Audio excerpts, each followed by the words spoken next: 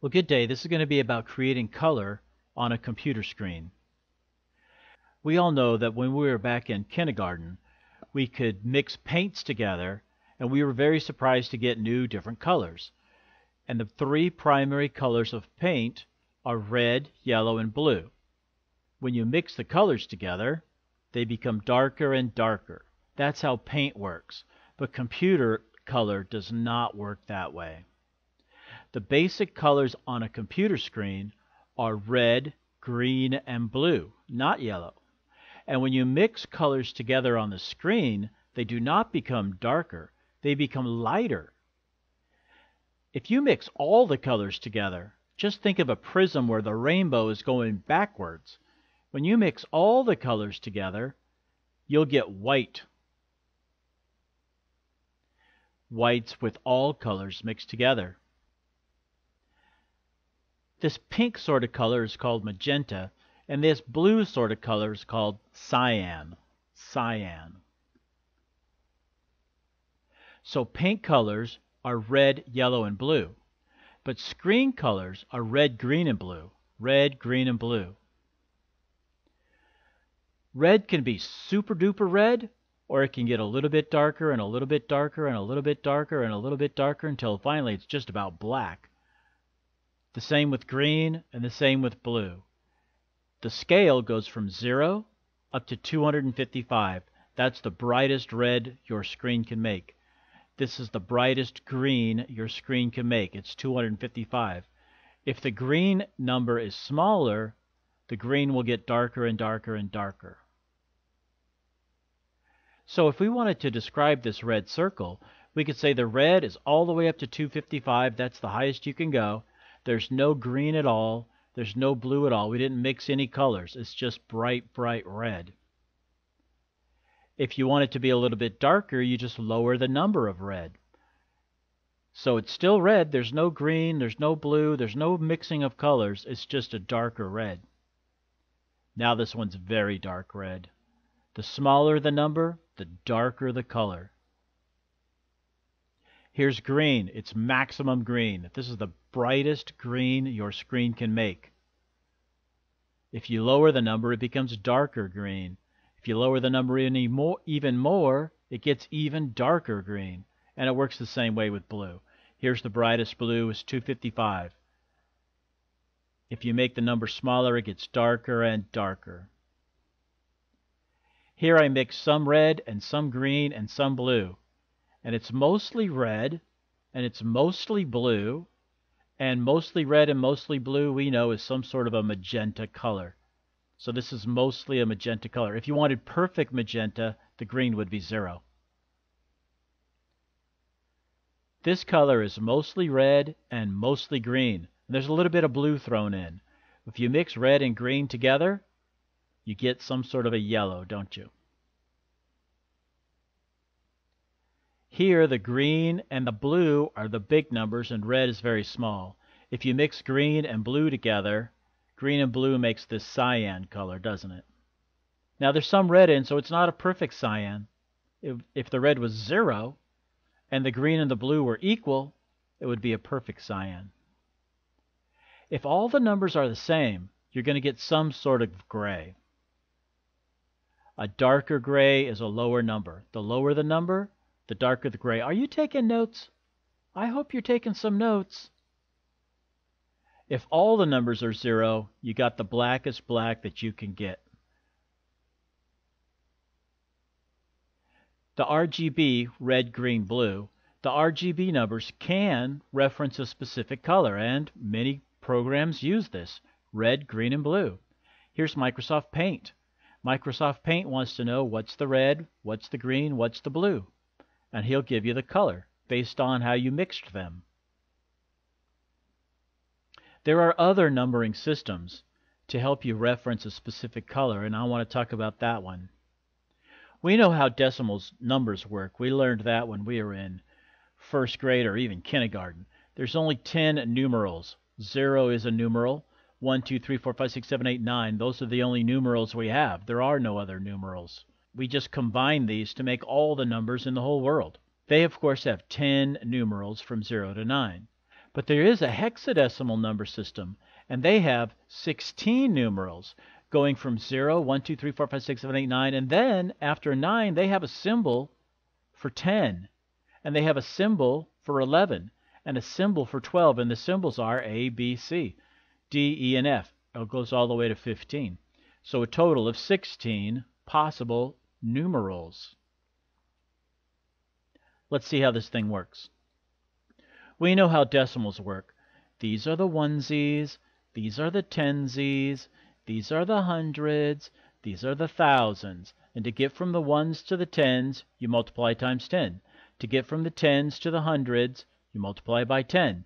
To get from the hundreds to the thousands, you multiply by 10. Decimal numbers. Three of these, one of these, four of these. And we learned if you have three hundreds and one ten and four ones, we say 314. 314 because we have three of those, one of those, and four of those. Now that's how decimals work, but what about hexadecimal numbers? Here's how they work. Here are the onesies, and here are the 16z's. And here are the 256e's. And here are the 4096e's. To get from one to the next, you multiply times 16. To get to the next one, you multiply times 16. Let's take a look and see how this would work. We have one of these, three of these, and 10, remember, A is 10, 10 of these. Let's see how it works. Oh, 314. Look, you could show your mom. Look, mom, 1 3A, 314.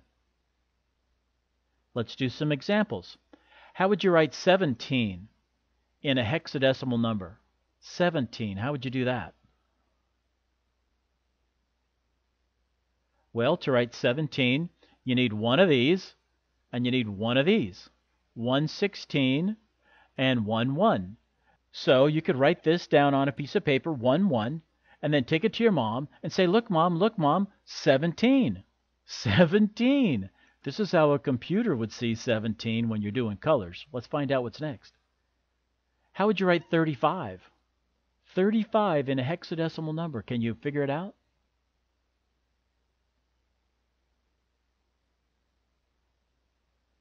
Thirty-five. Well, to get to 35, you need two of these and three of those. Two of these would be 32. 16 and 16 is 32. And 32 plus 3 is 35. So you could write this down on a piece of paper and show it to your mom and say, Look, mom, look, mom, 35. 35. I'm writing in hexadecimal numbers. Oh, not decimal numbers, hexadecimal numbers. Let's do another one. How would you write 26? 26. Hmm, 26. Well, to get to 26, you need one of these and 10 of those. Remember, A is 10. 116 and 10 ones. 16 plus 10 26. Look, Mom, look, 26. Okay, here's a here's an easy one, but it seems hard at first. How would you write 170? 170 in hex. Think about it. Well, if you need 170, that's like 160 plus 10. So you'd need 10 of those and 10 of those. 160 plus 10 more, 170. And this is how you would write 170 in hexadecimal numbers. Well, colors go from 0 to 255. Each one goes from 0 to 255. So let's write 255. Here's how we would write it in decimal numbers like we did in first grade. But here's how we would write it in hexadecimal numbers. Remember F is 15. So I got 15 of these plus 15 of these. 15 times 16 is 240. 15 ones is 15 and add them up, it's 255. So I can say 255 with just two characters, not three.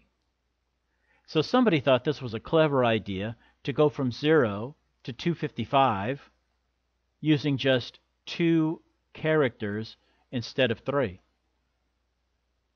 So they write it like this. Here's a color. The first two numbers are the red value, the second two numbers are the green value, and the last two numbers are the blue value. We put this little cross hatch in front. Some people call it the pound sign. We put this little cross hatch in front to tell the computer a color is coming up. Let's do some practice. Red, green, and blue. It's all red. There's no green. There's no blue.